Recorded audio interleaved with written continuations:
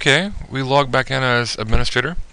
And now we want to go ahead and create some users and add them to groups and follow Microsoft's AGU DLP strategy. And we'll start looking at permissions and things before we go into group policy. Before we do this though, um, I'm having to use cryptic passwords, and that's a good thing for a secure network. You don't want simple passwords um, on a real network. But just to make things easier for me, I want to be able to use short passwords, simple passwords. I'm going to turn that option off. And the way to do that I'm going to go ahead and launch a Mickey Mouse console.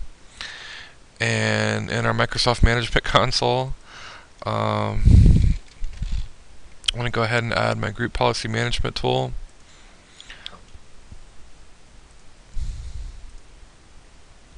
And this time I want to edit.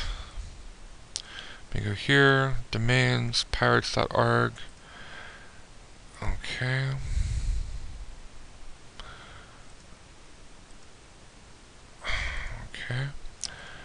And this time I want to edit my default domain policy.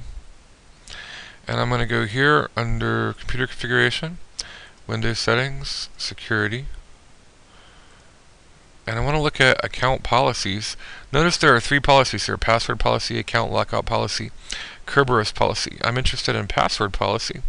This is sort of the first item that I want to edit. Let's look at a couple of the options here. Um, store passwords using reversible encryption. Um, that's been disabled because it's more secure. Makes them more difficult to recover, but also more difficult to reverse and, and you know decrypt that way. Password must meet complexity requirements has been enabled. I'm going to disable this.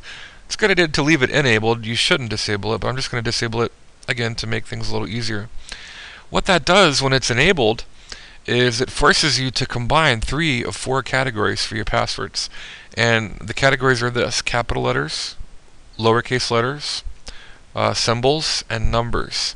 So any three, you know, combination of three of those would be considered a complex password.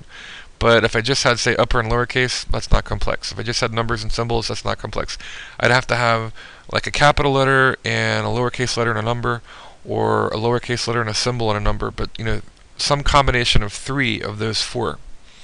And that's good because it makes your passwords much more difficult to brute force and much more resilient against dictionary attacks. Um, the minimum password length, I'm going to go ahead and change to four characters. Again, not a good idea in a real environment, but to make things easier in our lab, we'll just do that. Minimum password age um, is one day, and that just keeps them from changing their password uh, 10 times in a day. That would be very annoying to you as an administrator because they'd probably forget and have to call you and bug you three or four times, and that would interrupt your game of solitaire. No, I'm just kidding. Of course, we're very busy doing important things all day, aren't we? Um, the maximum password age of 42 days means that they need to change their password. You know, just a few, you know, a little bit more than a month, so maybe 10, 12 days more than a month. But um, that way they have to change their password.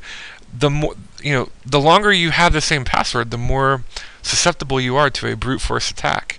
Um, the, the, you give the hacker more time to try to, you know, build up a dictionary of words to try, or social engineer something to try to get a password, or uh, to brute force something with, you know, software that just mass massively tries to compute all of the possible combinations in a password.